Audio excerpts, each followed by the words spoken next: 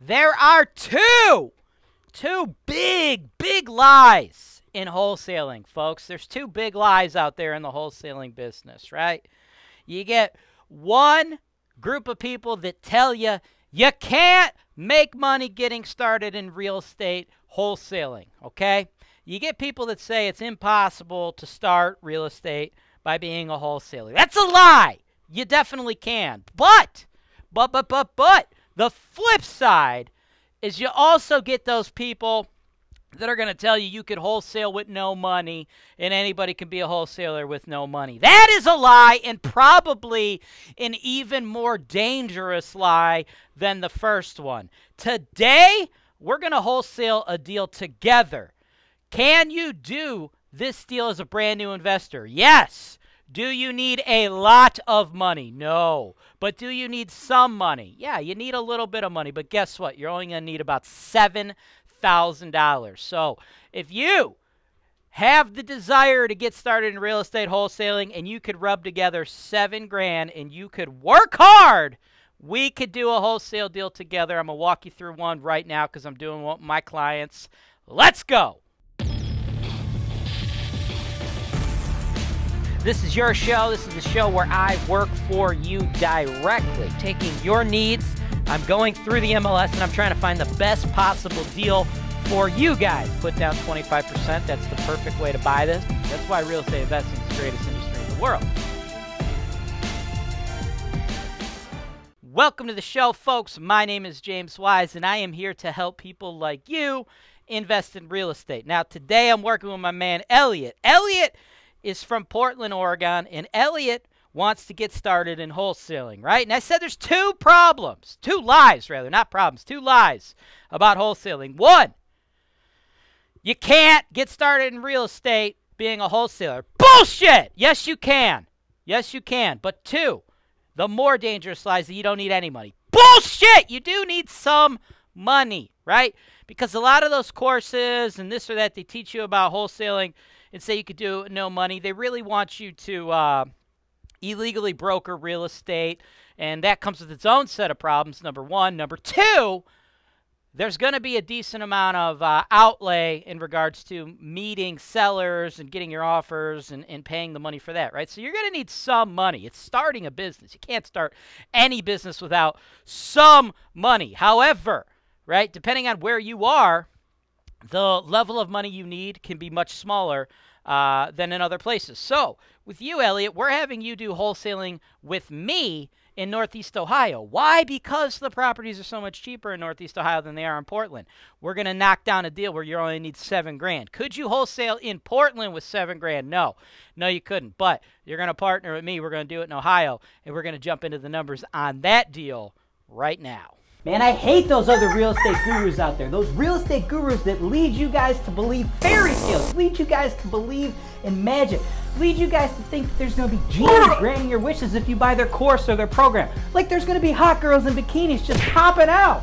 That's not the real life of a real estate investor. And here on Holton Wise TV, we give it to you straight. Welcome back, folks. We are going to pull up the property, go over the numbers, right? Getting rid of the two lies, the two lies in the wholesaling industry. You can't get started in wholesaling. Lie. Yes, you can. Two, you don't need any money to wholesale. Lie. Yes, you do. But depending on where you wholesale, depends on how much or how little you actually need, right? Seven grand is the only amount of money I think we're going to need to do this deal. Now, that is almost no money depending on where you live, right? You take people from Oregon, people from Denver, you know, like Portland, Oregon, Denver, Colorado, anywhere in California, right? You couldn't wholesale with seven grand, okay? You couldn't do it, right? But if you go to some place like Ohio, some place like Cleveland, you absolutely can because we have properties in areas that are super, super cheap, right? And that's where this one comes along, right? 3358 East 145th, Cleveland 44120. It has been on the market for 218 days. That is awesome. That is what we want, okay? That means it's been on the market over six months, okay?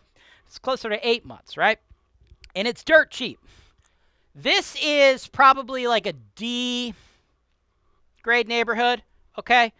Here's the deal. This neighborhood, like we actually do manage in this area, so it's a blighted area, but it's not like the worst of the worst, right?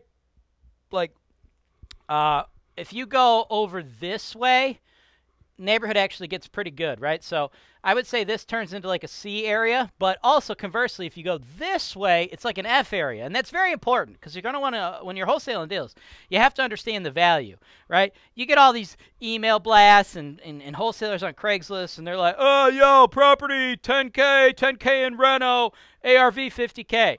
But nobody pays attention to them because, first of all, their ARV's wrong uh, their monthly S or their their renovation budget uh, all wrong, all fucked up, right? That's why you work with me, right? Because I could put all that together for you. I actually know the true ARV of this property. I could put together the scope of work. I could package this to the actual buyer, right? You get people that try to wholesale on their own, try to put all the pieces together, and they're just wasting their time, right? So that's why people are wholesaling with me, right? So you take this deal, three three five eight East 145th, okay? Fringy neighborhood, but Holton Wise, we are very familiar with this area. We've got the largest real estate portfolio of its kind in the Cleveland market, right? So I have people that will buy this. I understand what it's going to take to actually turn this into like a BRRRR deal, okay?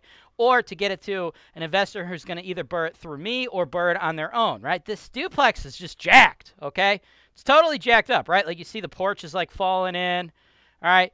The thing is just a mess, right? That garage needs to come down, new driveway. The whole thing is jacked, right? But in this neighborhood, we're like I said, fringy, but we should still be able to get an ARV of like eighty to hundred thousand dollars, depending on how nice we make this property. Okay. So I know the true ARV. And you don't even really have to worry about that because I'll be the one selling it after the fact, right? You need to buy it on a wholesale price and flip it to that BRRRR investor. But here's the thing if you don't understand how to put together the scope of work, this or that, how you really going to do it? Make it appealing to them. That's where Holton Wise comes in. We will do all of that. Put it on Holton Wise TV, right? You're going to buy it, and then we're going to put it in a nice package on the investment properties for sale show as a BRRRR deal, and then we'll sell it, and then that person will probably pay us to fix it, and then we'll manage it for them. We got all the pieces to the pie put together. What matters for you is being able to pick it up cheap enough uh, to make your profit on the wholesale, and then allowing us to sell it to that BRRRR investor later and have the meat be on the bone for them, right? So to do all that, you got to know how much the rental is going to cost. You got to know the ARV. You got to have the ability to get all that stuff done. I take care of all that, right? So with that said, ARV is going to be between 80 and 100K. As far as actually uh, putting this thing together, right?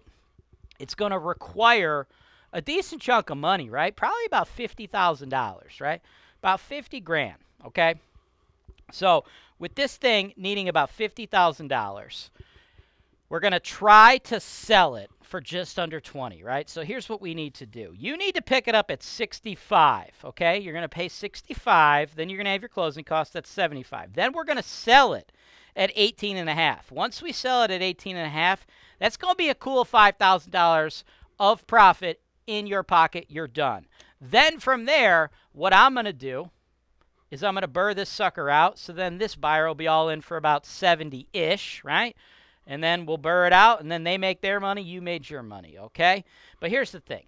The whole thing's got to work by you being able to pick it up at 65. So how can you do that? And that's that's the big that's one myth too in regards to wholesaling, right? Like a lot of people think, "Oh, the deal makes sense at 65. Sweet, I'll do it." And then a seller says, "Nah, I ain't going to take 65." And then you're scared. Oh, what do I do now? Folks, that's part of the game. You got to throw numbers out, right? You know how you get 10 wholesale deals? You make 50 offers. You know how you get 11 wholesale deals? You make 60 offers. You get what I'm saying? It's a numbers game. And you got to look for sellers that are distressed. This seller is incredibly distressed, right? House, totally dilapidated, making no money, falling apart. It's not like he's got rental income coming in. That's great. Number one. Number two, he thought it was worth more, but the market has now told him for eight months, hey, bro, you're not going to get that price. It's not worth that, right? So we got distressed, dilapidated property. Good. Long time on the market. Seller's starting to get antsy. Good. Seller has proven to us he's open to negotiation. How do I know this? Because this property originally was listed at 40 grand.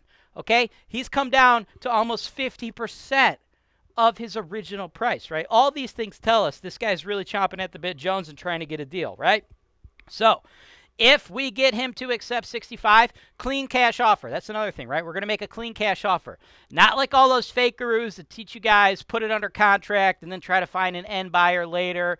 You do some BS like contingencies in case you can't close it. No, we ain't doing fuck all that shit. That's not real wholesaling. That shit don't work. It's actually fucking illegal, number one. Number two, we're trying to get this dude to take a lowball offer. He ain't going to accept some bullshit lowball offer. Any real estate agent worth their salt in the business is going to be like, yo, this ain't a real offer. This is a wholesaler, right?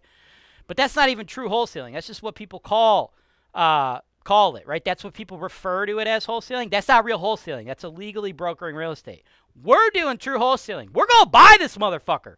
We're going to buy this motherfucker at 65. So what are we going to do? We're going to write a $6,500 offer. It's going to close in 10 days. No fucking contingencies. No walkthrough. No this. No that. Hey, motherfucker, 6500 no questions asked. We do that. I guarantee you I'm selling this for 18 and a half, right? That is how we have a higher chance of getting the deal to close, right?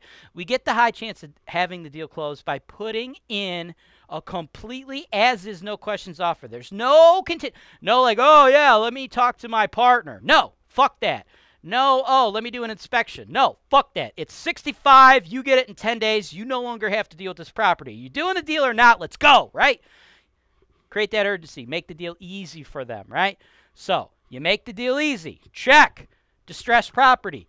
Check. On the market a long time. Seller's getting antsy. Check. Seller interested in negotiating. Motherfucker's down about 50% of what he originally wanted. Check. This, all those things tell me, all those things are clues that this is the potential for a good wholesale deal. So that's what we want to do. And guess what? If the seller tells us no, what are we going to do? We're going to move on to the next one because it's a numbers game, folks. We got to keep it moving. Thanks for watching. Subscribe to Holton Wise TV for more financial information, education, and entertainment.